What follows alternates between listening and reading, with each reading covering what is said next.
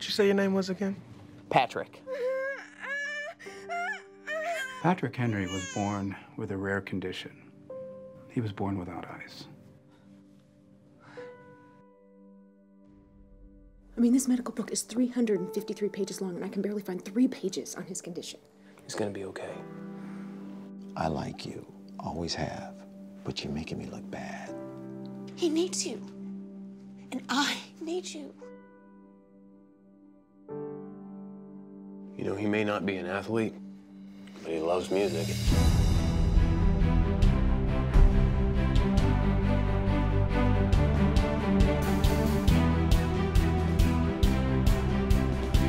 You just need to focus on the things that you can do. I know, I'm trying. I want to march. Look, you can find somebody to push him through the formations. You have a son who can't see anything, has all sorts of medical problems, a family that you're supposed to be leading. Get your priorities straight. Patrick Henry may not be progressing like normal kids. But I will tell you this he will be everything that God meant him to be.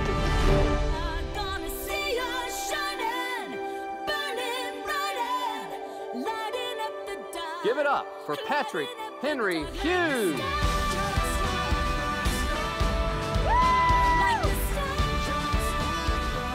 It's not about what you see, but how you see it.